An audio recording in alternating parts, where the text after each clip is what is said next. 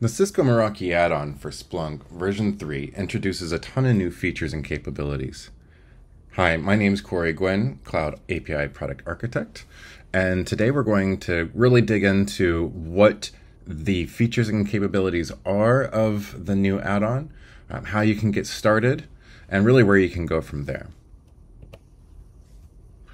So when we think about the two platforms, uh, Cisco Meraki is, is known for you know, managing your networks at scale, where you have a suite of different devices, anything from you know appliance VPN to switches and access points, Internet of Things, uh, cameras, and many more. Um, and so there's a ton of data and capabilities there.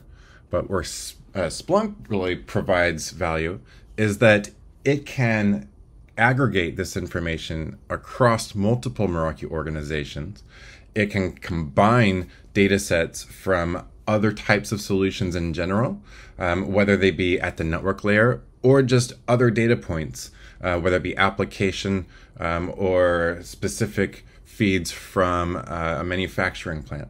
It doesn't really matter, but ultimately you're able to take this uh, these data sets and now create your own dashboards, your own insights, your own role based access control around the types of information that is useful to the people who need it, and that sensitive information is hidden from those who don't. So ultimately, the Cisco Meraki add-on is a connector into the Splunk platform, allowing uh, you to extract the data that's in the Meraki interface into the, the Splunk interface. And um, we're not alone in this. There are many other Cisco uh, services and applications, um, or products rather, that can also connect into uh, Splunk with their own TA or their technical add on. And from that point, when you have all of these data feeds coming in, you can then extend this with your own custom dashboards um, or you know really aggregate um, information that might be related um, between these different uh, solutions. So the use cases are, um, you know, quite wide. Um, you can do a lot with this. Um, anything around just monitoring the general state of the network to uh, configuration changes or to security events. Um, but we've also introduced, again, a number of additional data points, things around license management, API usage, firmware, system updates, etc.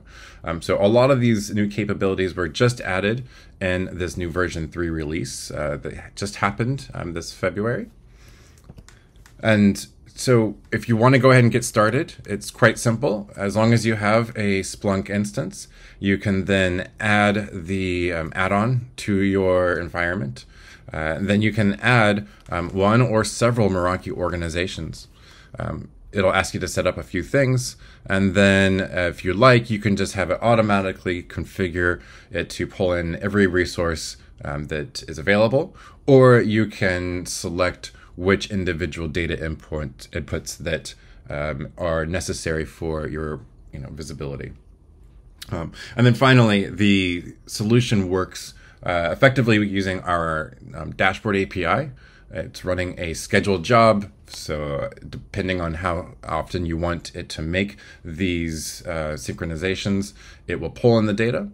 Um, and then alternatively, we have webhooks which provide real-time events when an alert happens. So if an access point were to go offline or a VPN connection were to be um, uh, going offline as well, uh, those alerts would be sent to Splunk as they happen. So once you have the configuration all set up, ultimately you really have two main interfaces that you can get started with.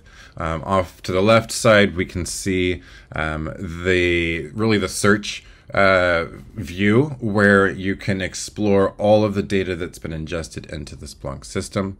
Um, so they have a really powerful search language um, that you can learn, um, or you know, actually pull out some examples that we provide in um, this add-on, so that again you can get started pretty quickly.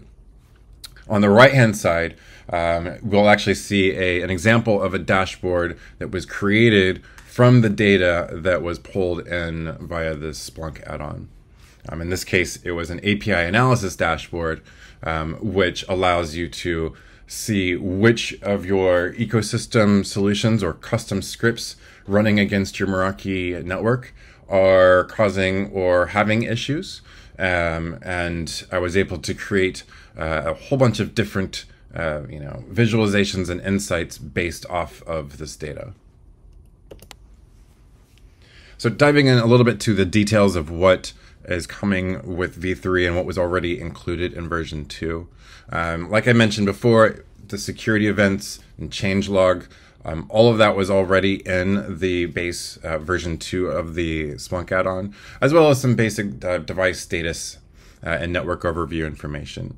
Um, but with version 3, we were able to include really about 30 additional um, data inputs uh, in total. Uh, but at a high level, uh, we're able to pull in all of the organization summary information around top devices, um, you know, spanning the entire uh, full stack of the Cisco networking platform, um, as well as pulling in um, really efficient information around usage um, or detailed metrics around things like packet loss.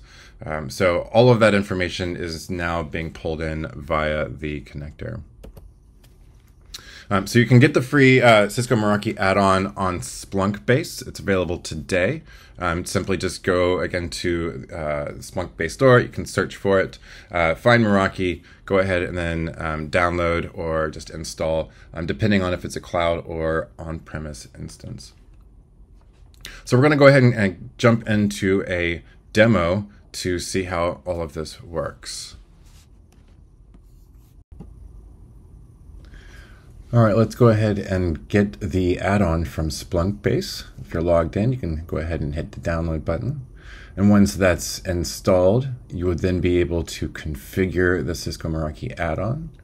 Um, just go ahead and click on that add button and specify the org name um, along with the organization ID as well as your secret API key. You can set the API call rate limit as well as choose to automatically import all of the input data that you would like. Now, if you didn't choose that option, you can manually select each one of these inputs um, from you know, any one of your organizations, um, name it, uh, as well as specify the frequency and where the, the data is stored.